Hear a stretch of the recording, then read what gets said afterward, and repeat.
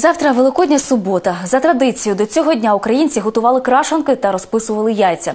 Наносили на них стародавні символи добробуту та щастя. Розгадати їхній секрет часом не всім вдається. Це спробувала зробити моя колега Ірина Камуен Щастя означає добробут і зла- з- затишок.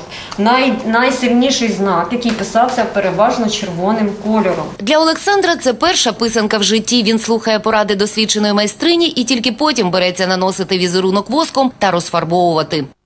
Ничего особенного, тут никаких знаков не изображаю. а Это просто душевный порыв. Я от себя добавляю всякие элементы, которые мне нравятся. И то, что вижу, то, что фантазирую, и у меня выходит в моей работе. Оксана Маслова на писанці малює слов'янський ламаний хрест, що захищає від темних сил. Мені подобається сама форма. Ну, я люблю зигзаги, я люблю правильні геометричні форми і тут намага... буду намагатися щось надати якоїсь форми цій речі. Геометрія на великодніх символах притаманна саме подільській писанці. Мистецтвознавці вважають її найбільш цікавою. кажуть, подільські візерунки пізнають з поміж сотень інших. циганські дороги, це вони такі геометричні, чорні, е, чорне тло, на якому такі зігзаги йдуть, як е, дороги життя, е, червоного кольору.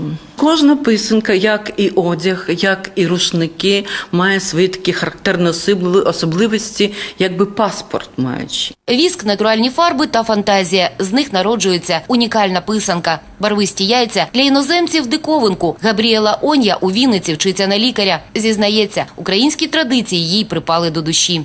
Я перший раз бачила, але дуже красиві, дуже інтересні. Для нас, тому що в Еквадорі немає так. Автентичні малюнки на гарний врожай чи процвітання родини сучасні українці зображують все рідше, жаліються народні майстрині. Нині бажання більш прагматичні. На багатство, на щедрість, наприклад, на щастя. Тобто це не означає, що в тебе там грошей збільшиться, а просто ти станеш багатим, незалежно від того, там це матеріальне багатство чи духовне багатство. Аби весь рік жити у злагоді, українці за півтора тижня до Великодня малювали на писанках сонце, дерево та знак безкінечності. Сьогодні на майстер-класах все частіше збираються поціновувачі гламуру, прикрашають великодні яйця бісером та навіть стразами. Ірина Камоен, телеканал Віта.